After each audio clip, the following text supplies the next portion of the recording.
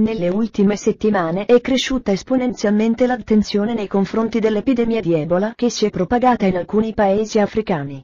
Per il vaccino occorrerà attendere altri due anni. Intanto, in un'intervista rilasciata a Stop, Barbara De Rossi è tornata a parlare dell'esperienza vissuta due anni fa. L'attrice e presentatrice si trovava in Congo con Michele Cucuzza per registrare la puntata zero di un nuovo programma RAI.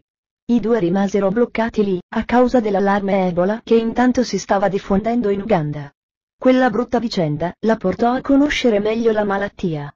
Ha fornito, dunque, alcune delucidazioni in proposito. Un gruppo di medici senza frontiere ci ha spiegato che l'Ebola non poteva essere contratta così facilmente. Il virus ha un'incubazione velocissima e il contagio deve avvenire toccando la persona infetta, che nel momento in cui è tale non può muoversi perché la febbre alta la costringe a letto.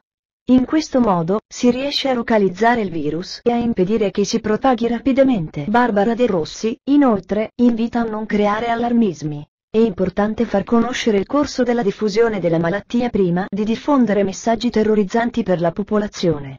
L'idea che si possa diffondere l'Ebola è una cosa che certamente spaventa.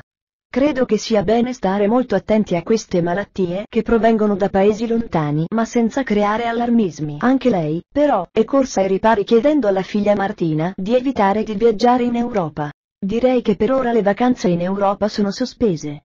Per stare più tranquilla, aspetterei l'estate prossima.